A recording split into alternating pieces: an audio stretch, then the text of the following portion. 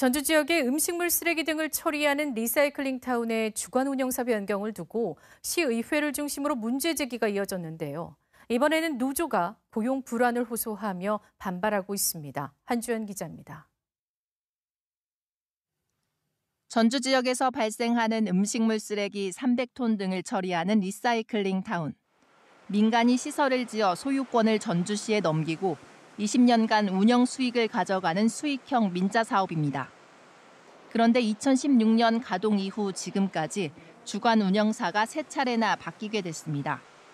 더욱이 내년부터 사업을 주관할 운영사는 폐기물 처리 경험이 없는 일반 건설사.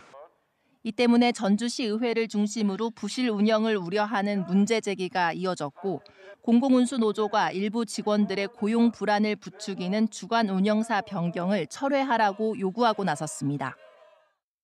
겨울철에는 음식물을 처리하기가 상당히 힘든 상황인데 한 번도 환경기초시설을 운영해 보지 않은 일반 건설사가 지금 이 시기에 운영한다는 것은 앞서 전주시는 출자사들끼리 주관 운영사를 바꾸는 경우 행정이 개입할 여지가 없다고 거듭 밝혀왔습니다. 주관 운영사 변경에 따른 직원 고용 승계 역시 마찬가지라는 의견입니다. 저희가 강제할 수 없는 사항입니다. 어, 다만 시가 근로자에 있어서 문제가 발생하지 않도록 어, 지속적으로 이제 권고는 하고 있는 지금 상황입니다. 악취 민원을 비롯해 다른 지역의 음식물 폐수 처리 등 여러 논란이 끊이지 않은 리사이클링 타운. 해마다 시 예산이 들어가는 사회 기반 시설인 만큼 투명한 운영이 필요해 보입니다.